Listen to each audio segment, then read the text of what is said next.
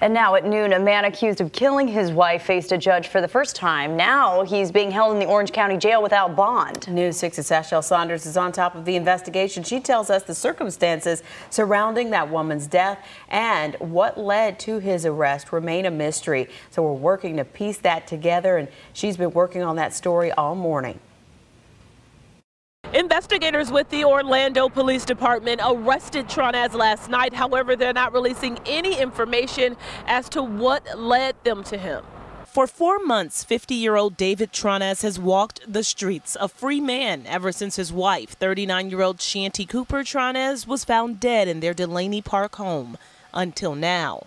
Mr. Tronez, you're here pursuant to a capias or probable cause order for first degree murder. Tronez stood before a judge from the Orange County Jail. First degree murder charges on the books. He was arrested Wednesday night. His lawyer choosing not to contest a no bond suggestion.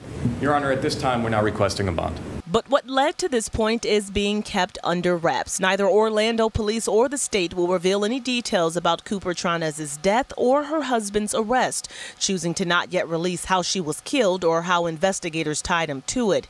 Even neighbors were perplexed at who would hurt her at the time. Many didn't know a lot about their life, only that she'd left behind a child from a previous relationship. I'm going to order that you have no contact with the victim's family in this case. I'm also ordering that you not possess any weapons. Reporting in Orange County, Sashel Saunders, News 6.